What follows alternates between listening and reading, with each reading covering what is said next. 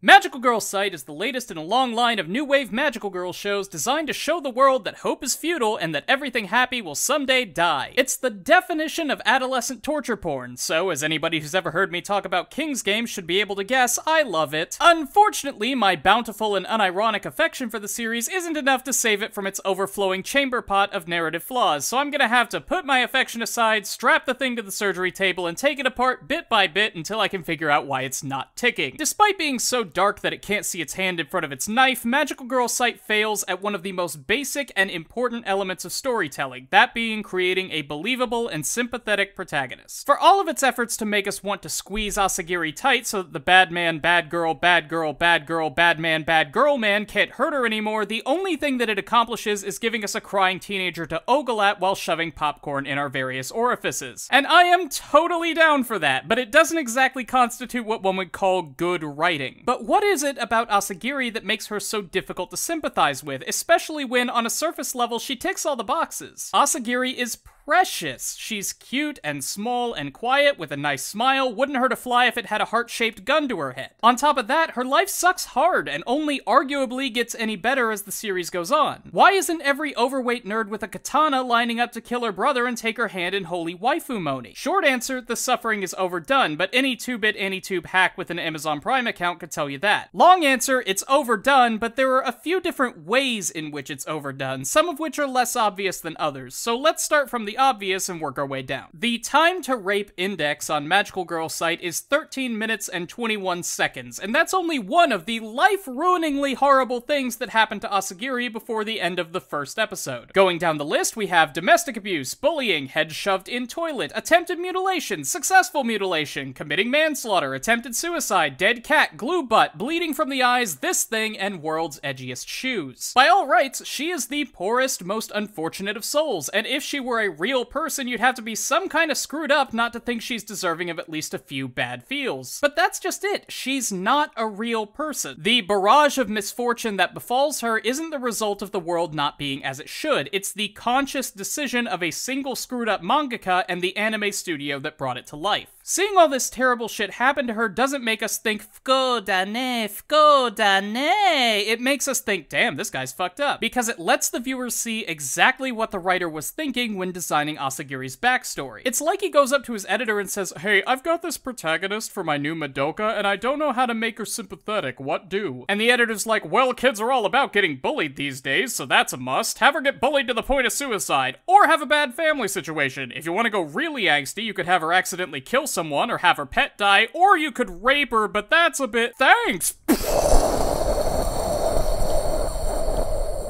It's just too much, and the result is an inelegant parody of real suffering rather than a character we can actually feel sorry for. Compare this to Madoka, the pinnacle and popularizer of the dark magical girl genre. Madoka is famous for its brutality, to the point where even the cute merchandise featuring chibi versions of its characters is, oh no, why would you do that? But while the suffering in Madoka is significantly less realistic than that in Magical Girl Site, it lands in a way that Asagiri's various torments couldn't even hope for. Nobody in real life has to worry about turning into a homicidal two and a half dimensional paper cutout of a Victorian orchestra conductor because their newly uncrippled love interest falls for the green haired third wheel since they were too self conscious about being a zombie to nab the dick that they traded their soul for. Even so, we feel for Sayaka Miki. We make memes about Sayaka Miki, and that's because even if the outcome of her struggle is fantastic, the struggle itself is familiar. She gives too much of herself for the sake of pleasing a love interest who gives nothing in return. She falls for the outlandish promises of a manipulator wanting to use her for his own ends. She makes mistakes. Very human mistakes. And that's the first thing that makes the suffering in Madoka more impactful than it is in Magical Girl Site. Why is Asagiri's life the way that it is? Not because fluffy extra-dimensional John Stuart Mill offered her a Faustian power bargain gone wrong, it's just plain bad luck. She was born with an older brother who relieves stress by punching her in the ovaries. Her home abuse makes her timid, which leads to Serena's group killing her cat and orchestrating a rape for kicks. That bullying makes the site administrators say, go, Danny, and give her a magic stick. You know, a stick. This is what sticks look like. The key here is that none of this is her fault. It just happened to her, which leaves the audience in one of two camps. Either you share experiences with Asagiri, in which case you likely have bigger problems with this show's disgustingly exploitative use of rape slash bullying slash domestic abuse, etc., as a vehicle for cheap sympathy, or you don't share experiences with Asagiri, in which case your emotions just go, well, poor thing, glad that's not me. With Sayaka, and with pretty much any other character in Madoka, we see her fall into despair as a result of her own choices. She starts as a normal, happy high school girl, and then she decides to become a magic high school girl, which causes her to lose her soul and makes her unwilling to go after Kyosuke. She wishes for Kyosuke's health, which is what allows him to go back to school and get together with, I wanna say Harumi? The third one. She kills familiars before they can turn into witches and doesn't accept grief seeds from Kyoko and Homura, so her soul gem corrupts and she becomes a witch. Look at this last conversation between her and Kyoko in episode 8. Sony Vegas decided to give me a hard time and wasn't letting me put the clip in the video, so I improvised a little bit.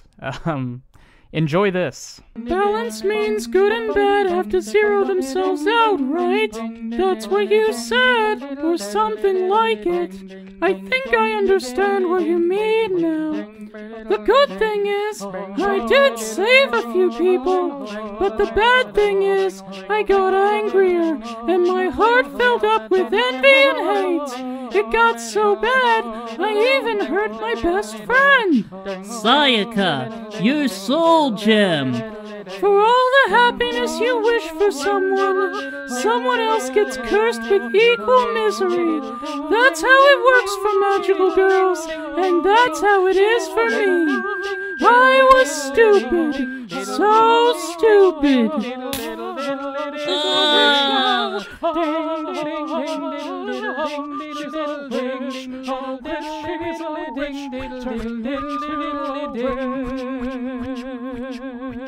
Sayaka!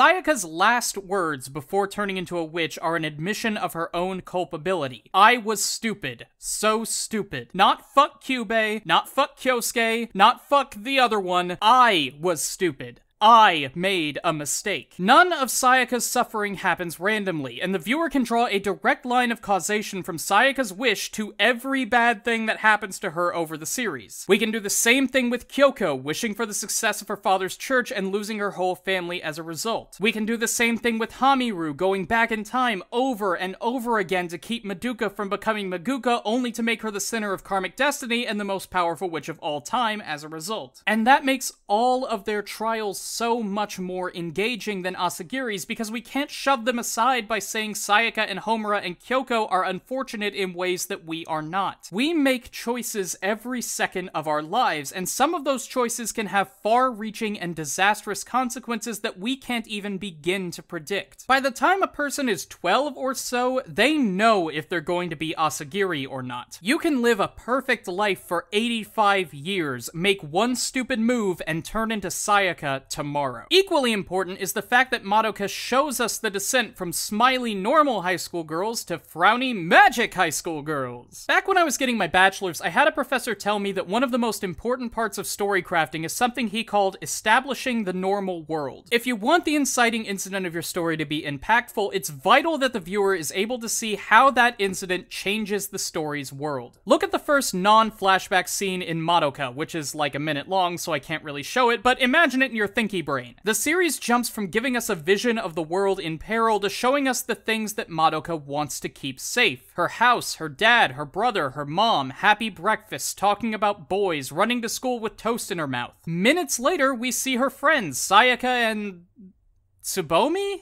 The other one. All of the things that Madoka stands to lose in the upcoming conflict. We see her go from this to this as she watches her friends fall into darkness and suffer and die, and we care whether or not Madoka is able to save the world because in Madoka Magica, the world is worth saving. Look at Asagiri now. Same deal with Sony Vegas, except this time it's a hoedown. Asagiri goes down to the railroad track looking all sad because she's dressed in black. Takes one step forward, then two steps back. Back because she can't bring herself to get hit by a train. It sits on the ground and everyone around seems tired of this little emo hussy feeling down. So they all walk away while she sits there and frowns and says, Every day, all I can think about is dying.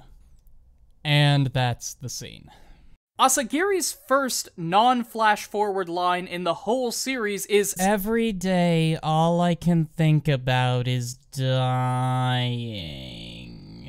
And following that pattern, she starts the show with a damn suicide attempt. Why should we care if Asagiri's world gets turned upside down when her world is so bleak to begin with? Death would literally be a preferred outcome for her, which leaves us wondering why she's bothering to do anything that she's doing. The series does try to give us one answer to this question, that being Asagiri's relationship with the friend she makes as a result of her suffering. Pedro made a video a while back about why this aspect of the series is actually pretty well handled, and I agree with her for the most part, but from a structural standpoint, using Asagiri's friends as a means of showing that her life is worth saving is mishandled in so many ways. First off, what happens if Asagiri's friends die? If she loses Yatsumura and the others, she'll be emotionally devastated, hopeless, alone in the world, completely devoid of anyone who shows her even the smallest hint of kindness. In other words, exactly where she was before she met any of these people. What will she have learned? The world's not fair and she's gonna be miserable up until the day she finally jumps in front of a train? She already knew that. How will she have changed? Will she get sadder? How? She already tried to kill herself in the first episode. How much worse is it going to get and why do we care? Alternatively, her friends could all live and we could get a happy ending, but the problem then is the resulting disconnect between adversity and outcome. How has Asagiri changed and what did she do to earn it? The various sources of suffering in her life weren't things that she had to overcome in order to achieve this hypothetical level of happiness. In this scenario, she suffers and then she's happy and very little happens along the way to connect the two. The sources of hardship early in the series aren't something that she has to move past or defeat in order to gain friends, they just sort of happen, because the writers know that the series needs a point to which we can compare Asagiri's current happiness so that we can theoretically appreciate it more. Likewise, Asagiri isn't a fundamentally different person as a result of her hardships or of interacting with her friends. She attempts to stand up for herself a few times, like when she tries to take everyone's magic sticks, this is what a stick looks like by the way, and fight the administrators on her own, but ultimately she backs down at the first mention of friendship and being in this together. She's still meek and conflict averse, even when it comes to saving her friends' lives. It's just that now, instead of backing down from people she's scared of, she backs down from people that she likes. Compare this to Homura's journey in Madoka. During episode 11, Ten. which I firmly believe is one of the best episodes of anime of all time, Homura is literally unrecognizable. She's timid and weak, horrible at everything, cute as a button, and borderline suicidal. In other words, a watered down Asagiri. But as we see her go back in time again and again, always trying and failing to keep Madoka safe, we see that timidity, that hope slowly get chipped away and replaced with cold, determined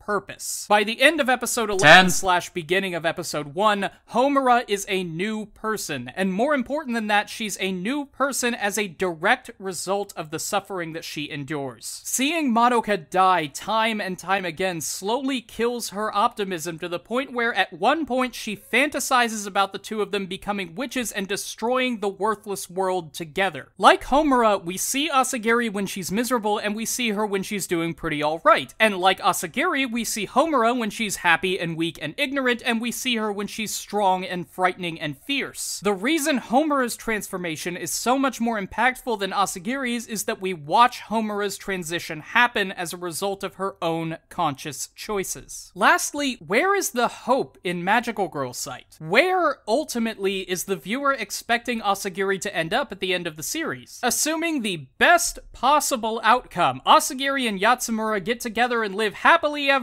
two years. Two years. Less, maybe? Maybe a little more? The very nature of being a magical girl in Magical Girl Site suggests that a quote unquote good ending just isn't possible for these characters. Even if they defeat the administrators and kill the bullies and stop the Tempest and resurrect Asagiri's cat from the dead, what do they get to enjoy? They've each used up half of their magic life support tattoos by the end of the first season. They get a few years of lightly censored lesbian subtext before their fragile magic magic meat sacks peter out. And this is the best case scenario, as opposed to Madoka, where the best case scenario is literally becoming God and engaging in lightly censored lesbian subtext while naked in space. But on a smaller scale, each of the characters in Madoka has something reasonable that they can hope for and achieve if things go their way. Sayaka wants Kyosuke, Homura wants Madoka's safety, Madoka just wants everyone to get along, and even Kyubey wants to save the damn universe. Each of these things is something that can happen and which would constitute a happy ending. Knowing that these things are at risk whenever the girls and cat thing face opposition makes the viewer care about what happens. If the whole gang dies in Magical Girl's Site, well,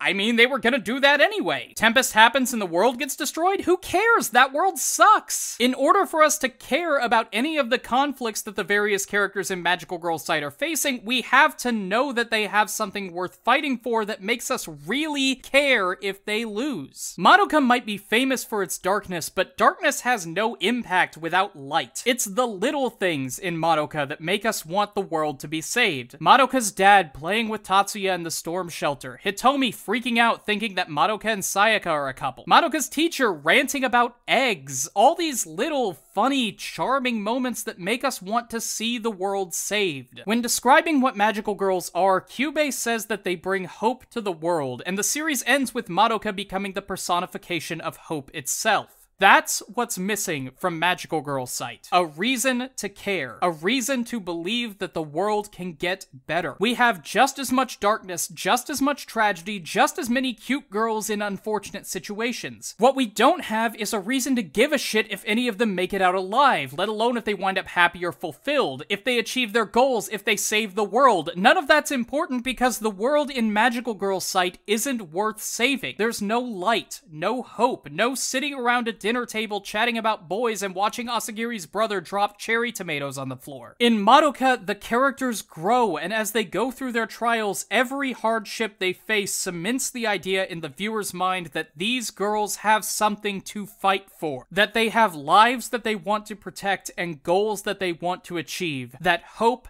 matters, that this world is worth it.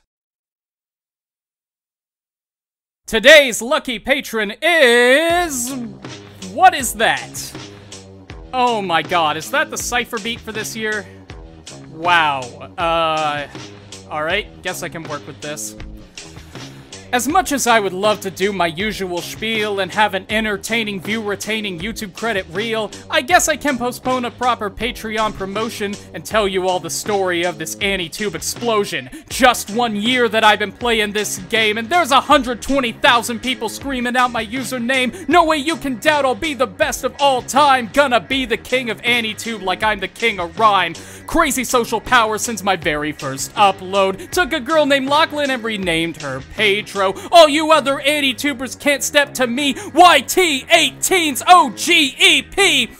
Time for me to throw shade, but I don't really know what to do. I only upload once a month and then I still grow more than you. Got a list of disses for this, but let me tell you what's true. Why cut you down when oh my wa mo shinderu? I might be mid-tier now, but soon I'll leave you all in the dark. Gonna punctuate your existence with a diacritical mark. Not one AniTuber on YouTube has that explanation point snark. Gonna make you all my bitches till you're saying bark, bark!